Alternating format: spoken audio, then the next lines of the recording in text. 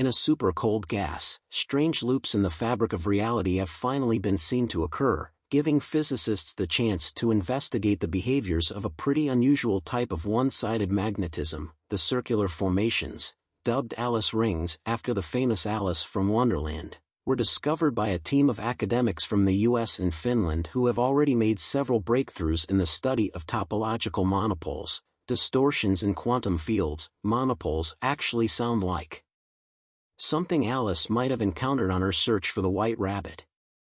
They are the isolated counterpart of a pole on a magnet.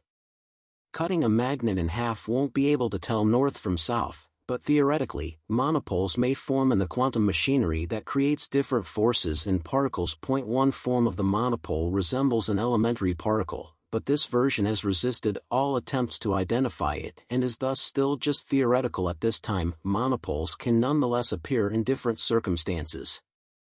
As different quantum fields swirl, pull, and push on their surroundings to give birth to transient anomalies that stand out for a split second before blending back into the churn. Each type of quantum field may produce its own unique style of one-sided magnetism. Mikko Möttönen, a physicist at Aalto University in Finland, is a member of the monopole collaboration and is well versed in the many whirlpools, threads, and tangles that can develop in the weave of a quantum fabric. Möttönen and his colleagues joyously succeeded in detecting a topological monopole in isolation for the first time in a supercold state of rubidium atoms known as a Bose-Einstein condensate, BEC, in 2015, barely a year after demonstrating the existence of one. Möttönen told Science Alert, we are the only ones who have been able to produce topological monopoles in quantum fields.